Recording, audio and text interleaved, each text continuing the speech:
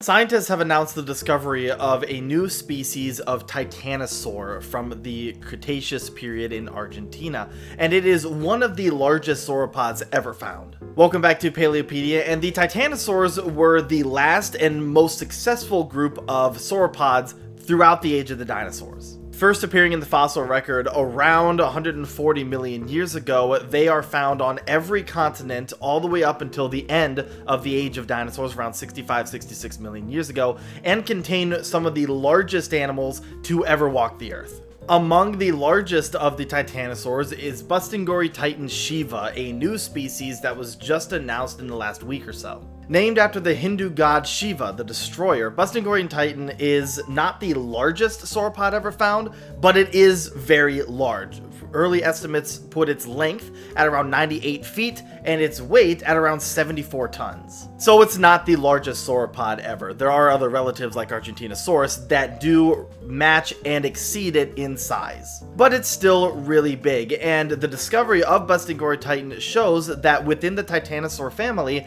Megatitanosaurs, species that exceed 55 tons in weight, evolve independently of each other. As an example, Argentinosaurus and Bustingorrytitan are close relatives of each other. They are both titanosaurs that lived in the same general region of Argentina at around the same time, from 96 to about 92 million years ago. But Argentinosaurus, alongside its relatives like Puertasaurus and Alamosaurus, are part of the Lognkosauria clade of sauropods, whereas currently Bustingorrytitan is classified as a member of the Saltasauroids, which were a later group of sauropods that are close related to Lognkosauria, but evolved separately from each other across many millions of years. So Bustingorrytitan didn't evolve from members of Lognkosauria, which means that it evolved its giant size separately from them. The discovery of Bustingorrytitan shows that prehistoric Patagonia during the Cretaceous period was a hotspot for sauropod diversity, as both Bustingorrytitan and Argentinosaurus were found in the same regions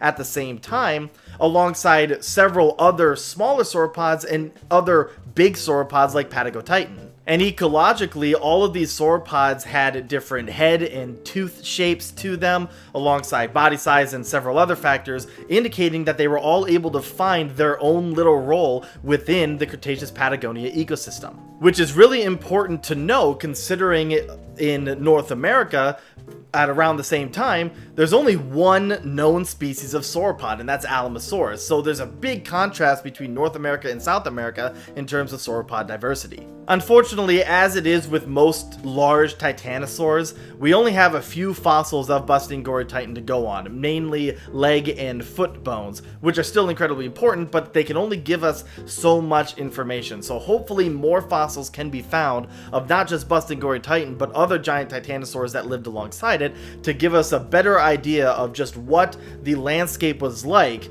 for Cretaceous Patagonia.